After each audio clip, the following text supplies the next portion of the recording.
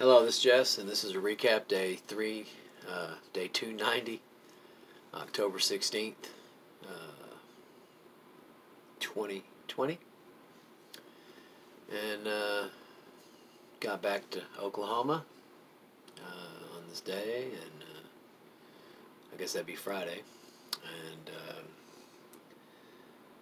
managed to get here, I'd say, around 6 o'clock in the evening, Friday. They were driving back from Fort Worth. Um, went down to Hillsboro from Fort Worth for a while to visit with some friends, and uh, then shot back from there back to Oklahoma, where I am now. Uh, it was a good uh, few days of traveling from Nashville to Fort Worth to Hillsboro to Oklahoma. Uh, pretty eventful. Uh, big wedding, not big wedding, but it was a big wedding. It was a big deal with my daughter, Alex, and her husband, Israel. So that was nice. Got to participate in all that. And made it back safe. Got to visit with Erica, and got to visit with Scott and Lauren and Dylan, and Aiden, and Roxy. And was able to see uh, friends and different folks that I haven't seen in a while while we're at the wedding and also up at Scott's. Um, that's about the just of Friday.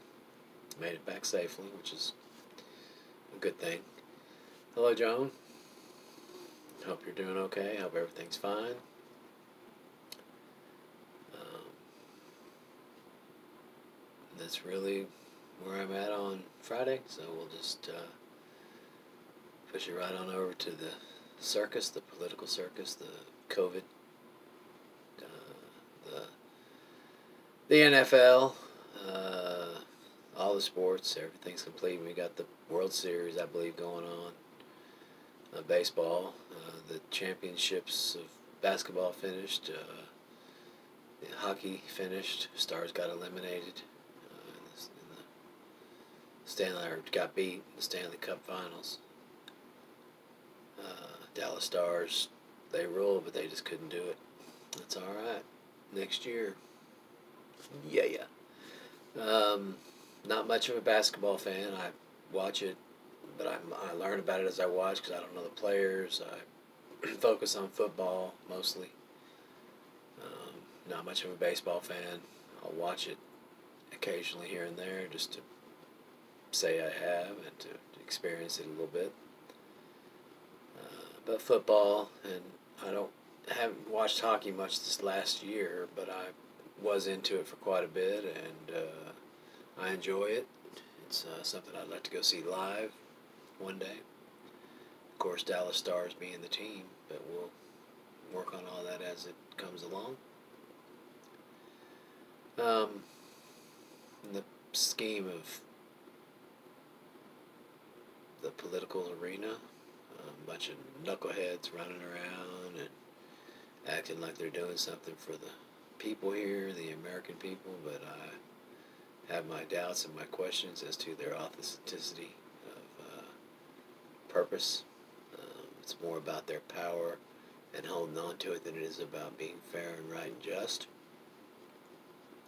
And again, that's uh, factual and my opinion. Uh, a lot of people that aren't uh, against Trump say that I'm a bunch of bullshit. And I'm a liberal and that's their right. That's what makes our country great. Uh, to be able to be who you want to be, what you are, without uh, being in danger for it. you know, but if it comes, it comes. Uh, but definitely, uh, I'm pushing for my uh, right to vote. As far as being that I live in Oklahoma, but I have a Texas address, and I we go back and forth here. I work here in Oklahoma, so hopefully my stuff has been received and uh, put into the system so that I can voice my vote on November 3rd. Uh, we'll see. Hopefully so.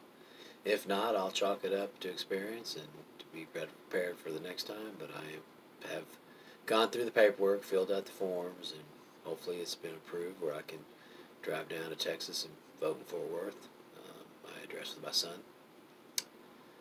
Um, but we'll see. Hopefully so. Anyway, this is Jess, and I'm calling it. Have a great day.